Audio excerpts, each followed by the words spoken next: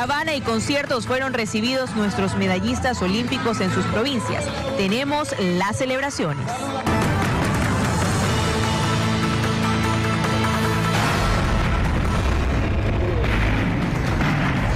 8 de la mañana con dos minutos, amigos. Eh, muy buenos días. Estamos miércoles 14 de agosto de 2024 y arrancamos con imágenes captadas por un equipo de 24 horas esta madrugada a propósito de un amplio operativo ejecutado por la Fuerza Pública en Durán. Más de 40 allanamientos se ejecutaron en ese cantón. Entre los lugares allanados está la Agencia de Tránsito de Durán, el Cuerpo de Bomberos de ese cantón y el el municipio también de esta ciudad. Se investiga a una estructura delictiva organizada vinculada a varios hechos delictivos, entre ellos narcotráfico, tráfico de influencias y también delitos contra la vida. Es sin duda la noticia del día. Valerie, buenos días. ¿Qué tal, Carlos? Amigos televidentes, así es, seguimos viendo imágenes de lo que fue este operativo que arrancó en horas de la madrugada y que nos acompañara Catalina García nos acompañó y pudimos captar estas imágenes. Previo a enlazarnos con Catalina, queremos mostrarles también ya a esta hora de la mañana lo que ha sido el pronunciamiento del alcalde Luis Chonillo. Lo ha hecho hace pocos minutos mediante su cuenta oficial de ex y lo vemos en pantalla acerca de estos allanamientos de la madrugada, instalaciones de la Agencia de Tránsito de Durán, municipio y bomberos. Esta administración brindará a la policía y fiscalía todas las facilidades que estén a su alcance para las investigaciones que se llevan a cabo. Comprometidos con la transparencia, esta alcaldía no tolerará ninguna, con ninguna conducta antijurídica, por lo cual estaremos prestos a colaborar con el trabajo que realizan las fuerzas del orden. Es el pronunciamiento del alcalde de ese cantón, Luis Chonillo, a través de su cuenta de X. Este mensaje fue compartido hace apenas unos minutos. Y es que en la lista de 24 detenidos al momento, la mayoría son funcionarios públicos vinculados a la ATD, el Cuerpo de Bomberos de Durán y también el municipio de ese cantón. Nuestra compañera Catalina García ha seguido, ha seguido esta acción de la Policía Nacional desde horas de la madrugada, está en el cuartel modelo a esta hora donde siguen llegando los detenidos, también la evidencia recabada, donde hace poco Freddy Zarzosa, director general de investigaciones de la policía, daba un pronunciamiento respecto de las posibles vinculaciones con alias Negro Tulio, líder de los Chone Killers, cuya celda también fue allanada y él también está ahí en el cuartel modelo. Catalina, tú nos actualizas la información. Buenos días. ¿Qué tal, Carlos? Amigos televidentes, cuando son las 8 de la mañana con 4 minutos, efectivamente a mis espaldas está alias el negro Tulio, líder de la agrupación delictiva Chone Killers, extraditado de Panamá, trasladado hacia nuestro país y la celda de él esta madrugada, como bien lo mencionabas, también fue allanada en la cárcel La Roca, la cárcel de máxima seguridad, donde permanecía este peligroso sujeto que según lo confirma la misma Policía Nacional, continuaba ejecutando, mentalizando los hechos criminales que se venían registrando en el cantón donde no cesa la violencia. Específicamente lo confirma la policía que el brazo armado de alias el negro Tulio era un miembro de la casaca roja, un miembro del cuerpo de bomberos. Nosotros tenemos incluso la imagen de él, la detención de este sujeto y también cuando estaba aquí en las instalaciones del cuartel modelo. Lo que dice la Policía Nacional, que este miembro de la casaca roja eh, reclutaba a otros eh, bomberos para el tema de eh, distribuir sustancia ilícita, distribuir droga en tanqueros y también en camionetas. Es la información que la misma Policía Nacional ha confirmado, el director nacional de investigaciones lo confirmó para ese noticiero. Nosotros más temprano estuvimos también en esta estación del Cuerpo de Bomberos y pudimos evidenciar la acción por parte de la fuerza pública al momento en que incluso se estaba abriendo las llaves de los tanqueros, pues se presumía que había droga dentro de estos eh, vehículos. Nosotros estamos en vivo a esta hora cuando son las 8 de la mañana con 6 minutos. Tenemos las imágenes de alias el negro Tulio y de otros eh, detenidos también, la mayoría, como bien lo indicó la Policía Nacional, funcionarios del municipio del Cantón Durán también de la estación del Cuerpo de Bomberos y de la Agencia de Tránsito. Es preocupante la situación, sobre todo confirmar lo que la misma policía dice, que este miembro de la casaca roja que está a un lado, en otra esquina donde está el negro, negro Tulio, era el brazo operativo de la estructura criminal Los Chonequillers en el Cantón Durán. Este sujeto también,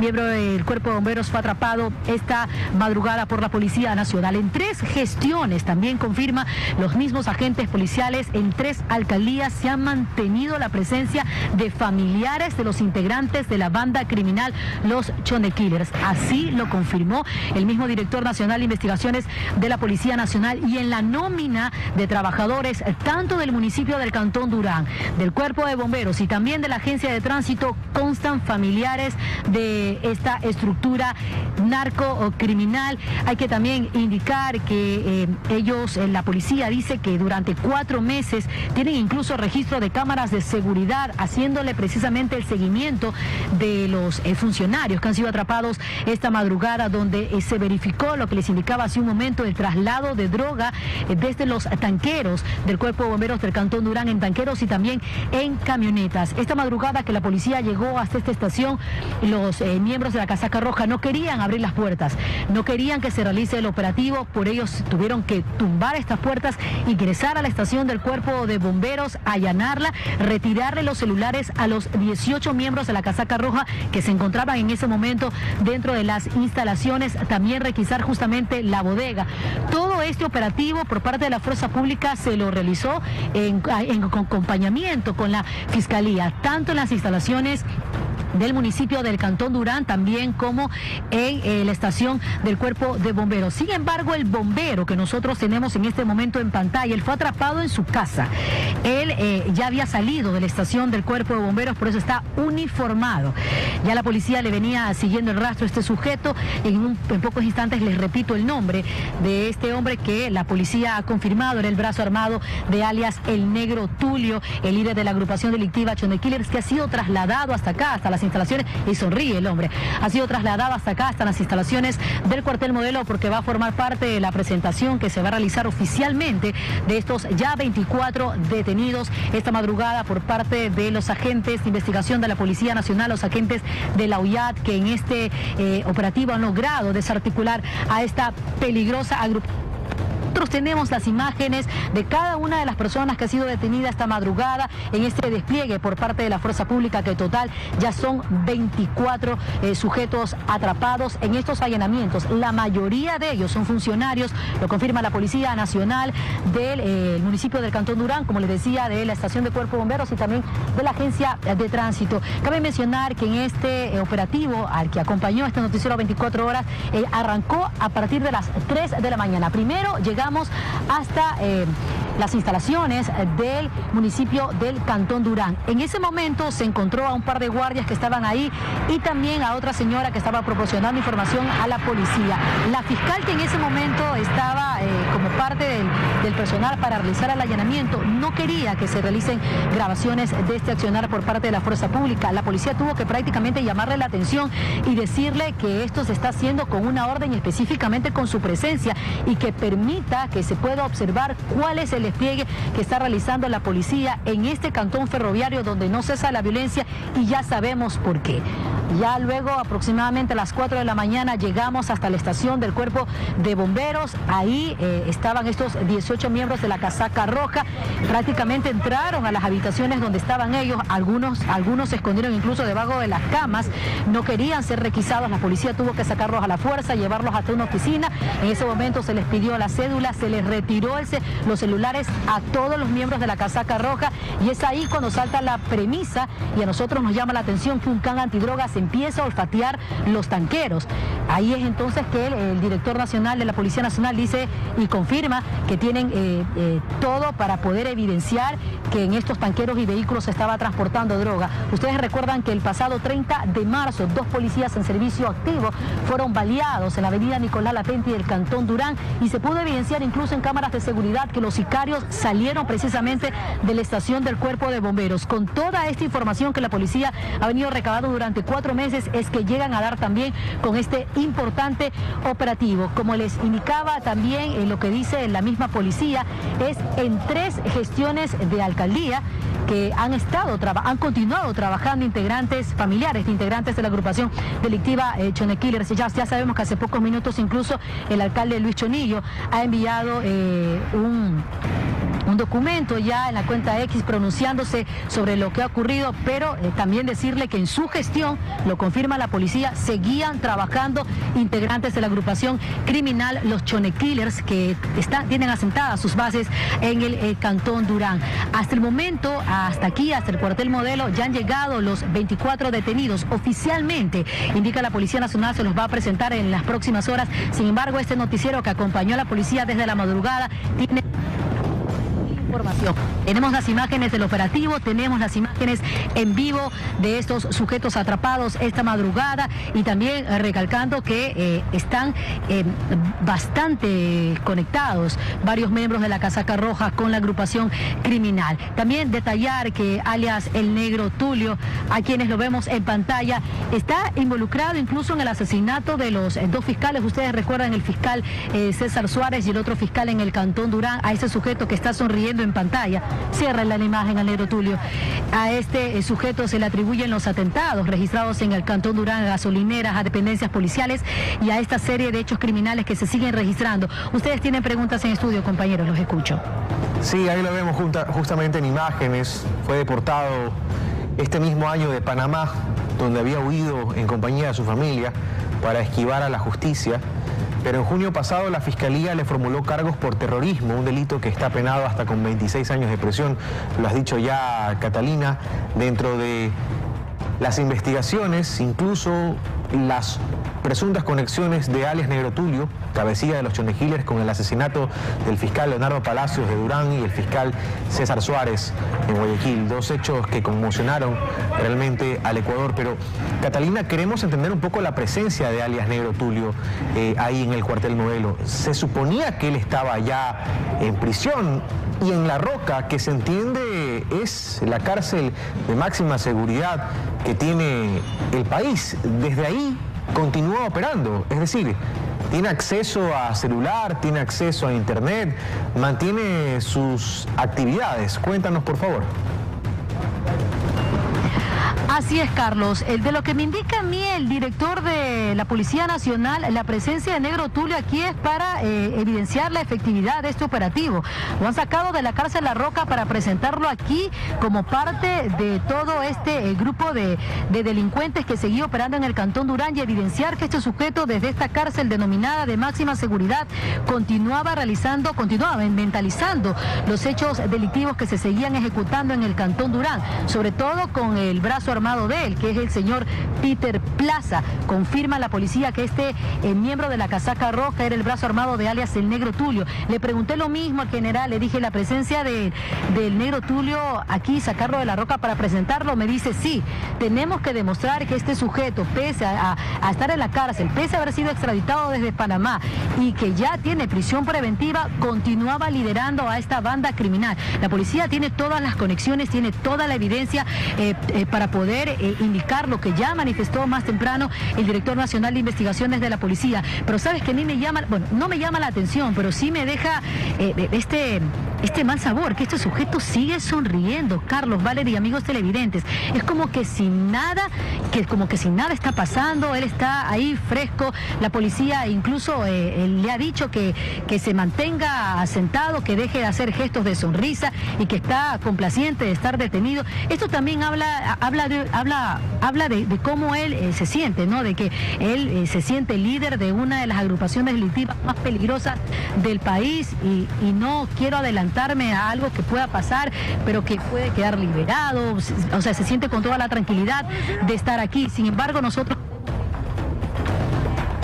para que los amigos televidentes que están atentos a la señal de 24 horas desde las 5 y 55 de la mañana que salimos en vivo con esta microondas tengan la información precisa. Hasta el momento confirmando son 24 detenidos, la mayoría funcionarios del Cantón Durán, de la Agencia del Cuerpo de Bomberos de la Agencia de Tránsito. Entre los detenidos está el brazo eh, quien operaba, Bien, tenemos una serie de inconvenientes con la comunicación con Catalina, pero hemos podido recabar pues, lo que ha sido pues, esta intensa jornada que arrancó a eso de las 2 de la mañana en diferentes puntos, Guayaquil, Durán y San Borondón, pero sobre todo se concentró en el vecino cantón de Durán. Más de 40 operativos que dan cuenta algo que ya se rumoraba hace bastantes meses. Irregularidades tanto en el cuerpo de bomberos, en la agencia de tránsito y que también ha llevado a la investigación al municipio de Durán. Importante lo que se ha mencionado, también importante las presunciones que tiene la policía de algo bastante grave que estaría ocurriendo. transportación de droga en vehículos cuerpo de bomberos, en ambulancias, así que mucha atención con lo que estaría ocurriendo. Lo cual es estratégico para las operaciones del narcotráfico, porque usted entenderá que si hay un operativo en la vía, no paran precisamente a las motobombas del cuerpo de bomberos o a la ambulancia del cuerpo de bomberos, estas pasan de largo, aprovechando aquello, se presume habrían sido utilizados estos vehículos para transportar droga. Nuestra compañera Sofía Huir también se encuentra en las instalaciones del Cuerpo de Bomberos en Durán para ver cuál es el ambiente luego de los allanamientos realizados por la Policía Nacional. Sofía, tú tienes más información. Adelante, buenos días. Buenos días, compañeros, amigos televidentes. Así es, nosotros seguimos también ampliando la información en torno a los allanamientos que se han dado durante la madrugada de este miércoles. Estamos en esta estación bomberil ubicado en la vía Durán Boliche, que también fue allanado durante la madrugada de este miércoles. ¿Cuál es el panorama, la situación a esta hora de la mañana? Desde que llegamos a este punto eh, pudimos observar que eh, pues las personas que se encontraban dentro de este lugar al ver la presencia de cámaras, pues eh, corrieron inmediatamente dentro de la estructura como tal y durante todo este momento solamente hemos visto llegar pues eh, automóviles, carros como el que acaba de llegar en este momento, personas que se presume que trabajarían dentro también de esta estación bomberil, sin embargo pudimos observar eh, cómo inmediatamente al ver la presencia de cámaras ingresaron de manera rápida hacia pues la estructura como tal. ¿Cómo fueron los allanamientos? Ya también lo, lo contaba Catalina García, compañeros y amigos televidentes, si producción nos ayuda un poco con las imágenes de toda la intervención policial que hubo en horas de la madrugada, podemos eh, observar en esas imágenes que la policía pues eh, revisó minuciosamente los objetos personales entre las camas de eh, pues las personas que se encontraban dentro de esta estación de bomberos en horas de la madrugada. Pudimos también observar que utilizaron en este caso canes para ya también como lo mencionaban poder eh, registrar si es que dentro de los, eh, de los carros de bomberos se estaba transportando o había algún, algún tipo de droga o, sustancia en este caso, es lo que pues eh, ya también lo mencionaban, presume la Policía Nacional, que estos carros eran utilizados para transportar droga aquí en el Cantón Durán, compañeros. Ha sido una larga jornada, como ustedes han podido observar, de la Policía Nacional, no solamente en este punto, sino en varios puntos y en varias instituciones públicas de todo el, Cantón Durán, compañeros. Ya lo informaban, más de 20, exactamente 24 personas que han sido detenidas durante todas estas intervenciones. Y como les mencionábamos, aquí el movimiento es casi nulo, escaso, vemos solamente carros que han llegado en aproximadamente una hora, personas que se presumen que trabajarían eh, dentro de esta institución, compañeros. Es un poco la información que tenemos a esta hora de la mañana. Nosotros vamos también a permanecer aquí para poder eh, contarles de manera también amplia si algo sucede en el Cantón Durán, compañeros. Lo dejamos también con tomas de ese lugar. Gracias, Sofía. Todo 24 horas desplegado para cubrir lo que es sin duda una de las noticias más importantes del día. Amanecemos con esta noticia para quienes recién se conectan con las señales del Amazonas, la Agencia de Tránsito de Durán, el Cuerpo de Bomberos de ese cantón el municipio de la ciudad allanados por la fuerza pública. Hay 24 personas eh, detenidas, la mayoría funcionarios públicos, que se los vincula con alias Negro Tulio, cabecilla de los choneros. Esta investigación nace de ciertas alertas que las autoridades conocieron hace cuatro meses, imagínese usted todo el tiempo que ha transcurrido, y que si bien el dato disparador de las investigaciones fue vínculos con una red de delincuencia organizada, habrían otros presuntos delitos conexos, ha dicho Freddy Zarzosa, director general de investigaciones de la Policía Nacional, narcotráfico, tráfico de influencia e inclusive delitos contra la vida. Tenemos pantalla dividida arriba, en el cuadro superior izquierdo, Alex Negrotulio, cabecilla de los Chone Killers, deportado de Panamá junto con su círculo familiar, del lado derecho las instalaciones del Cuerpo de Bomberos de Durán. En vivo también en la parte inferior izquierda, nuestro dron 24 horas nos muestra una perspectiva aérea del municipio de Durán y también las imágenes que la Policía Nacional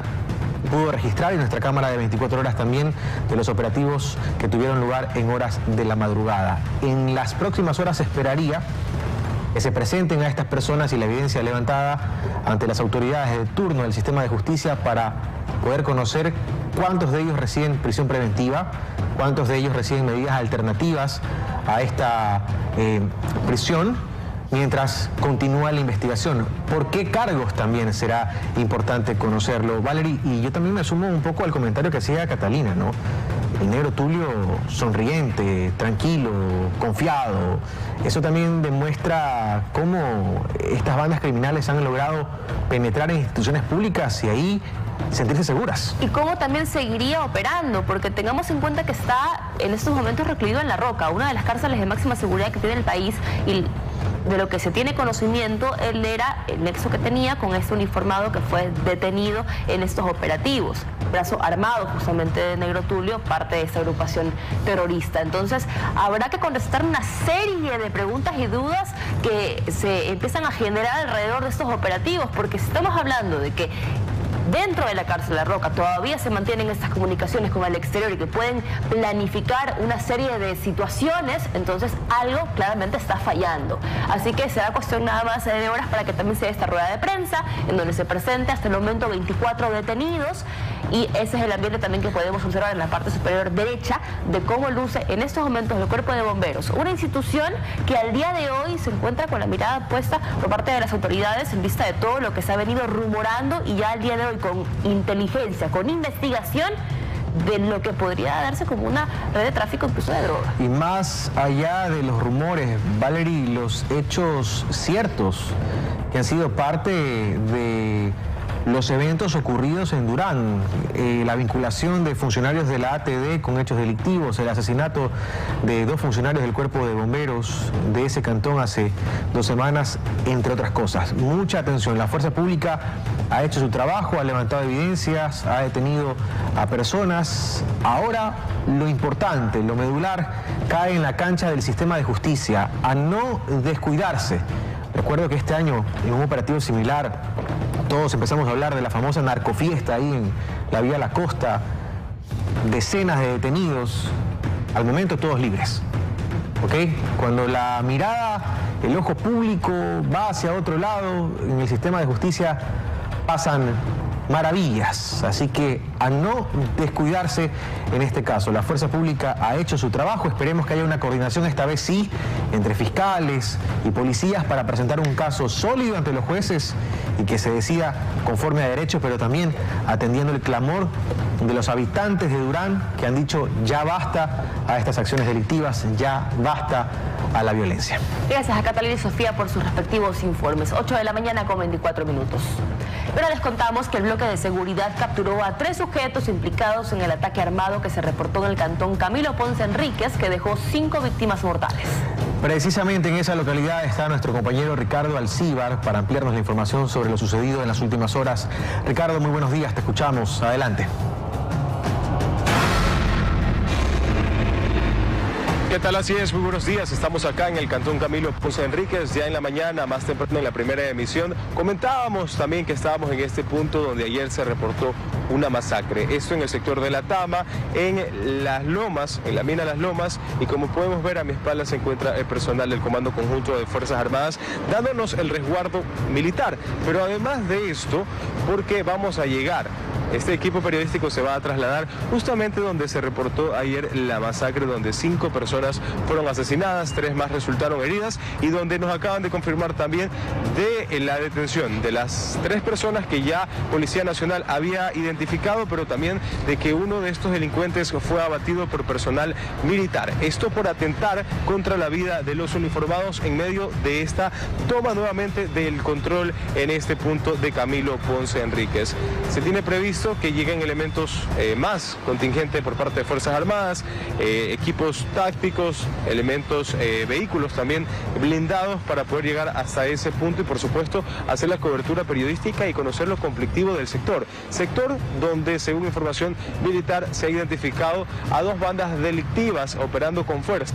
Los Lobos, los Lobos Box, pero también en los últimos días se han encontrado grafitis o identificativos de la estructura terrorista Los Fatales, brazo armado de los choneros. Recordemos bien de que los choneros y los lobos se enfrentan no solamente en este punto, sino también en la provincia de Manabí, en Manta específicamente, donde también el comando operacional se ha desplazado. Un ataque armado que ocurre luego de dos meses de que el pasado 26 de julio eh, haya un evento similar que dejó en esa ocasión ocho personas asesinadas, entre ellas decapitados, desmembrados. Realmente la violencia de estas estructuras delictivas es tal que el mismo Comando Conjunto de Fuerzas Armadas tiene que pedir mayor resguardo para poder llegar a esos sectores conflictivos que dicho sea de paso, nos han indicado de que aparte de ser de difícil acceso por la altura, por el terreno que no está eh, plenamente pavimentado, es un terreno rural prácticamente, sino también porque existen territorios desconocidos aún por eh, la fuerza del orden, donde incluso estas bandas delictivas tienen un complejo de túneles. Llega la fuerza del orden, se meten a los túneles y salen por el otro lado o incluso sirven para emboscar al personal militar o policial que quiera subir hasta ese punto. En tal caso, nosotros vamos también a subir hasta ese sector con el Comando Conjunto de Fuerzas Armadas, a seguir de cerca las operaciones militares como no puede ser de otra forma y a presenciar qué nomás se registra en ese punto. A los televidentes estar atentos a la señal de 24 horas porque en pocos instantes estaremos allá, justamente en el sector de la Tama, donde se reportó ayer este ataque armado, que deja cinco personas asesinadas, tres más heridas, deja tres detenidos y un delincuente abatido. Hasta acá la información. Regresamos a estudio con más. Muy buenos días. Gracias Ricardo, buenos días, mucho cuidado en esa cobertura, estaremos pendientes a nueva información que se genere desde este punto de la provincia de Azuay. Momento una pausa, amigos, para al volver mucha atención, cuando son las 8 de la mañana con 28 minutos, les contaremos al volver que el ARCSA emitió una nueva alerta por contaminación de bacterias en un lote de agua purificada sin gas. Ya les contamos más detalles. Además, la ATM anunció cierres viales en la vía perimetral. Eder Cheme nos tiene un avance al respecto. Eder. Muy buenos días compañeros, 8 con 28 minutos, así es. Desde hoy, miércoles 14 de agosto, está previsto que se ejecuten varios cierres viales en la vía perimetral. Uno de esos puntos es precisamente a la altura del intercambiador de tráfico o de salida y también ingreso hacia el sector de los Ceibos, pero hay otros sectores más que más adelante justamente les estaremos informando. 8 de la mañana con 33 minutos ya. Vamos a exteriores. La Agencia de Tránsito Municipal de Guayaquil anunció cierres viales en varios puntos de la vía perimetral y no pues utilizar vías alternas a propósito de trabajos que se llevarán a cabo justamente en la zona. Vamos a hacer contacto con nuestro compañero Eder Cheme para que nos cuente qué trabajos se van a realizar en esta zona. Eder, muy buenos días, te escuchamos. Adelante. ¿Qué tal, Carlos, Valery, amigos televidentes? 8 de la mañana con 33 minutos. Primero indicar que estamos aquí en la vía perimetral a la altura del el intercambiador de ingreso y también de salida hacia el sector de los Ceibos.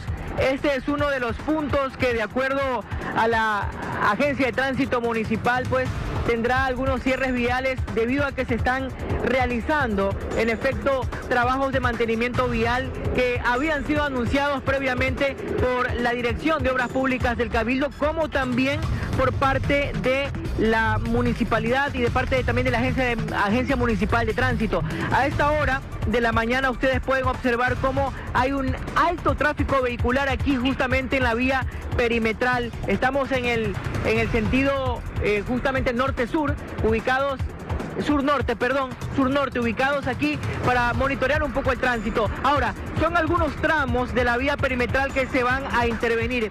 Uno de ellos es en efecto el que nos encontramos, pero también se va a intervenir el tramo comprendido eh, a la altura de Pascuales, como también en el sector de la isla Trinitaria. Todos estos trabajos, compañeros, forman parte de esos mantenimientos viales que se habían anunciado por parte del municipio y que se vienen ejecutando desde hace meses atrás. En total son 28 kilómetros que se están interviniendo y que se han venido interviniendo. Recalco, uno de los puntos que se están a esta hora justamente ya interviniendo es el sector de la perimetral a la altura del intercambiador de entrada y salida de los Ceibos.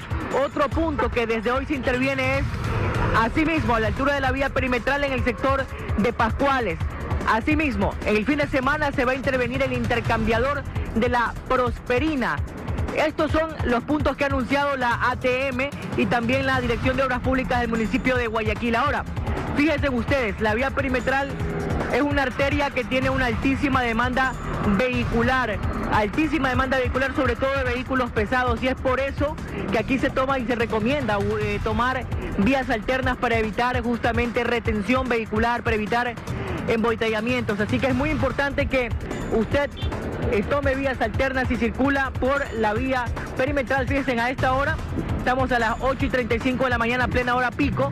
Se puede justamente constatar cómo los vehículos que salen del sector de los Ceibos se integran hacia la vía perimetral y ya cuando estos trabajos estén en curso en todos estos tramos que inician desde hoy, aquí se va a complicar un poco la movilidad. Así que muy atentos a los cierres, está previsto que en el transcurso de la mañana personal de la ATM colabore con estas intervenciones viales y aquí lo que se está haciendo básicamente es reparar la vía en los puntos en donde había ondulaciones, en donde había, había grietas y todo tipo de baches que impedían que la circulación vehicular sea rápida como lo es aquí en la vía perimetral, como está construida con ese fin esta vía. Así que estaremos atentos cuando ya inicien los trabajos para nosotros informar con más detalle de cómo se va desarrollando y también si la presencia del ATM en el punto es como se lo ha indicado para que puedan direccionar el tránsito. Es la información que tenemos desde la vía perimetral, compañeros, cuando son las 8 con 36 minutos.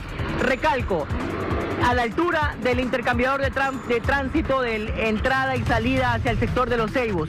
Ustedes siguen con más. Buenos días.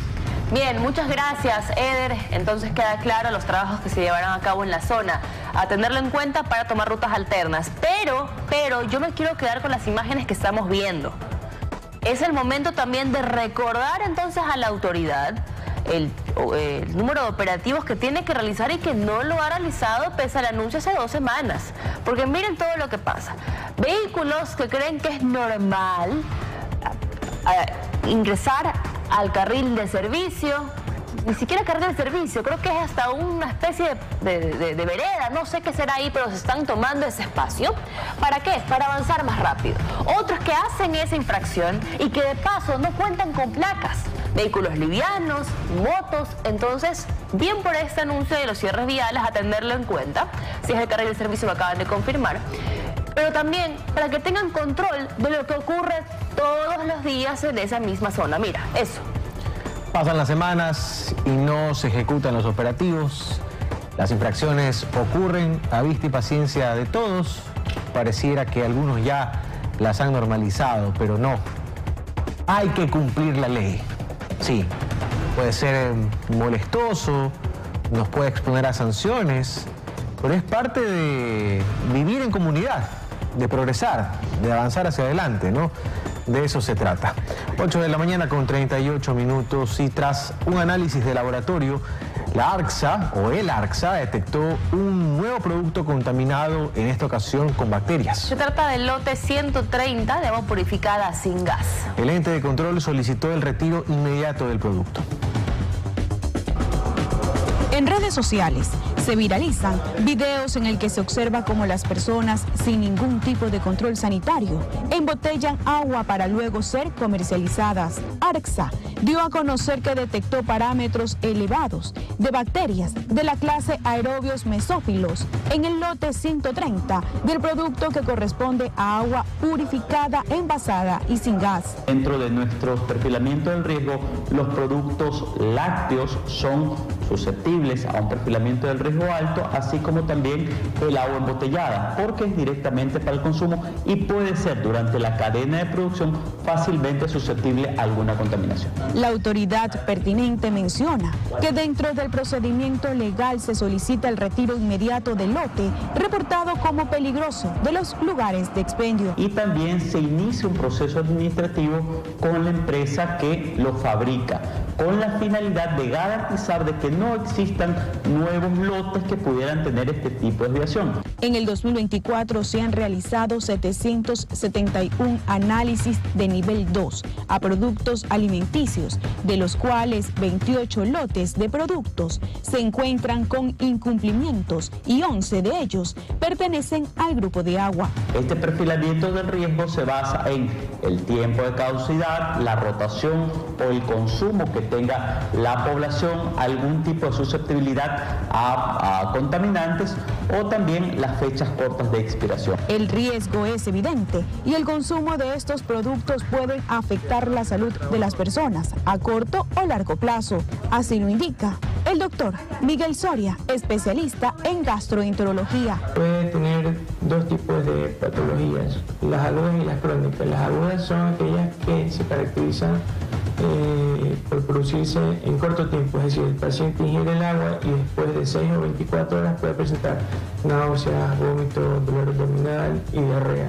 a nivel crónico, lo que mayormente puede producir es una enfermedad neoplásica, que es el cáncer gástrico. El ente de control exhorta a la ciudadanía a realizar las denuncias respectivas en el caso de visualizar algún incumplimiento sanitario.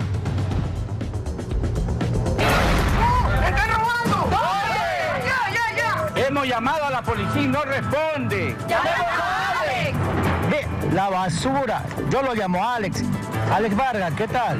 Aló, Alex.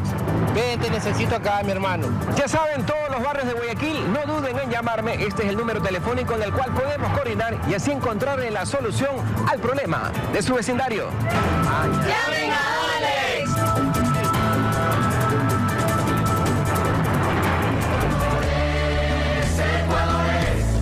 la tierra más bonita, mi Ecuador, Ecuador es, es la tierra más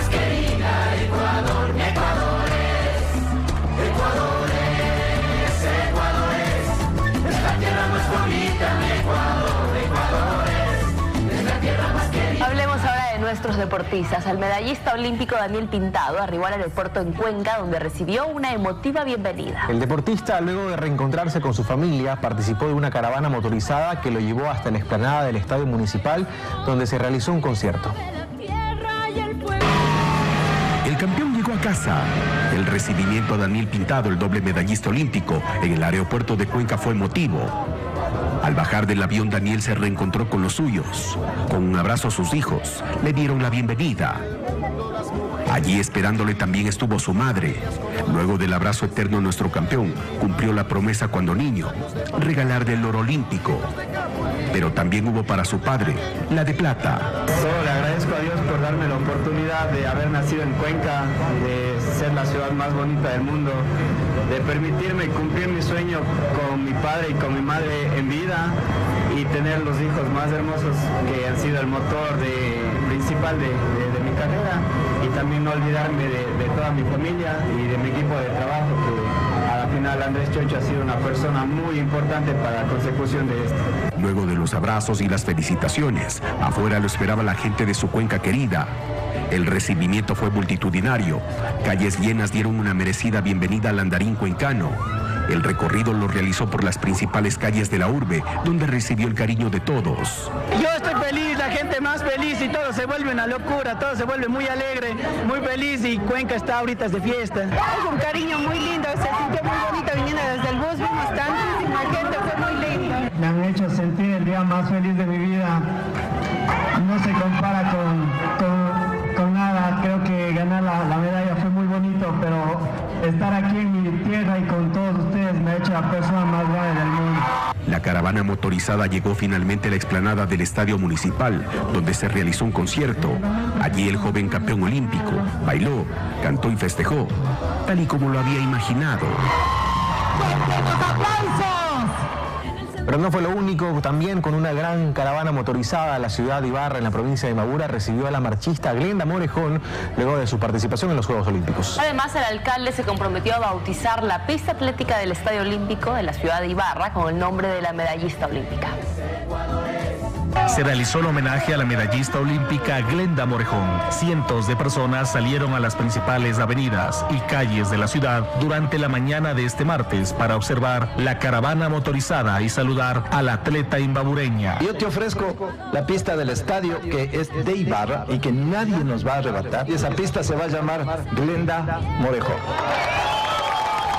Tener una escuela de marcha o un club eh, para poder seguir formando em, em, marchistas o también de otras disciplinas, eh, especialmente de las de fondo y medio fondo. La familia Morejón Quiñones siempre estuvo apoyando a la deportista desde sus entrenamientos hasta los días de competencia en París 2024. Hasta el último día de, de su competencia hablamos y le dije, tú si puedes, vamos a lograrlo. Entre me dije, una de las tres medallas tenemos que traer. Estoy muy orgullosa y pues que siga adelante, que igual cuenta conmigo, con la familia para lo que sea y que siga, que siga luchando porque esto es solo el comienzo. De esta manera, la Ciudad Blanca del Ecuador brindó el reconocimiento a Glenda Morejón, que a sus 24 años ya piensa en las próximas Olimpiadas de Los Ángeles 2028 para traer más alegría al pueblo ecuatoriano.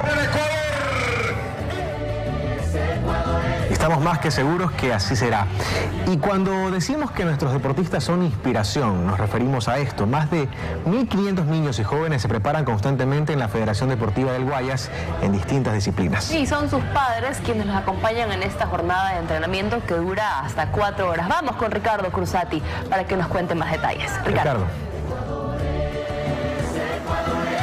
Así es, ¿qué tal compañeros? Son cerca de 45 disciplinas deportivas que ofrece la Federación Deportiva del Guayas a los más de 1.500 jóvenes y niños que constantemente llegan a entrenar todos los días aquí en la ciudad de Guayaquil. Muchos de ellos llegan acompañados de sus padres de familia, los cuales son un vital apoyo en su carrera deportiva que desde muy pequeños se empiezan a formar. Pero a continuación les contamos más detalles en el siguiente reportaje.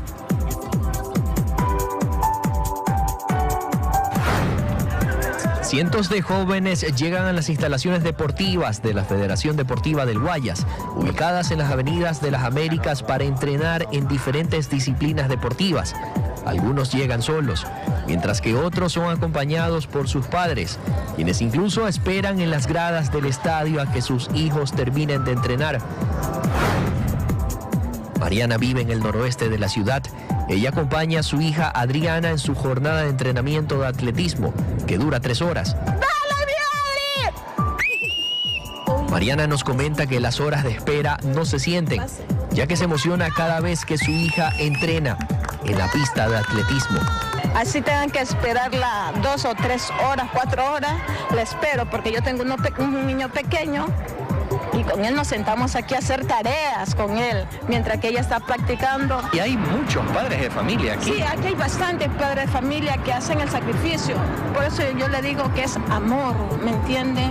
Adriana sueña con ser una gran atleta, pero su mayor objetivo es conseguir una medalla olímpica y romper récords en la disciplina de carrera de vallas quería ser una deportista olímpica porque se siente muy bonito como ellas lloran, hasta lloran por ganar, entonces se ve bonito y quisiera algún día ir a los Olímpicos y más allá. A lo que yo empecé a hacer atletismo, eh, a lo que corría me sentía libre de todo.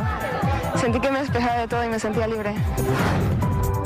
La Fe de Guayas cuenta con 45 disciplinas deportivas, como ciclismo, atletismo, carrera de vallas, salto alto y salto con pértiga incluso es practicado por niños desde los cuatro años. Para pertenecer a la Fe de Guayas existen dos caminos. El primero es la selección que se realiza a los deportistas más sobresalientes de escuelas, colegios y clubes deportivos. El segundo es a través de los vacacionales gratuitos de la Fe de Guayas, donde se selecciona a los jóvenes con las mejores aptitudes deportivas. Ellos dejan el deporte recreativo como tal y empieza su proceso en el deporte formativo. Y es este deporte formativo el que empieza a desarrollar todas las potencialidades motrices de los chicos. Tratamos de ir seleccionando a los atletas que participan, por ejemplo, en los intercolegiales, en los interescolares, que no se acercan a Fede Guayas porque hacen el deporte en su colegio. Y entonces también buscamos captar a esos chicos. Actualmente la Fe de Guayas está formando de manera profesional a más de 1.500 niños y jóvenes en diferentes disciplinas deportivas, de los cuales 23 atletas ya se encuentran preseleccionados para los Juegos Bolivarianos en Perú. Cabe recalcar, compañeros y amigos televidentes, que la jornada de entrenamiento de los jóvenes y niños que vienen a entrenar todos los días aquí a la Federación Deportiva del Guayas es desde 3 hasta 4 horas y el apoyo de los padres de familia es constante en esta jornada de tiempo de espera. Eso es lo que les podemos contar a esta hora. Volvemos con ustedes con más a estudios. Gracias Ricardo por la información. La verdad es que el deporte nos ha brindado alegrías. Y ya hemos demostrado de lo que estamos hechos. Somos nada más y nada menos que el segundo país latinoamericano que más medallas ha cosechado en estos Juegos Olímpicos. Se vienen otros más en el 2028 en Los Ángeles. Sabemos que para muchos deportistas nuestros campeones son inspiración, pero se necesita de un apoyo constante. Ya tienen el apoyo de sus padres, que pasan horas acompañándolos puntuales a sus entrenamientos, pero se requiere también de instituciones públicas y empresas privadas presentes durante este camino. Hay que invertir en el deporte, invertir en nuestros deportistas para que no seamos solamente eh, la segunda o la tercera, eh, dependiendo de cómo lo vean, latinoamericana o sudamericana, sino que seamos ya una potencia en diferentes disciplinas. Así que veamos el ejemplo de lo que han hecho nuestros deportistas, nuestros medallistas olímpicos, que pese y contra todos lo han conseguido, pero qué lindo sería tener este apoyo al 100% y que solamente ellos se enfoquen en eso, en entrenar, en darlo todo físicamente para poder ganar más y más medallas. Hay madera, hay garra. Ojalá también venga el apoyo, una lluvia de apoyo incesante. 8 de la mañana con 51 minutos. Ecuador es Ecuador.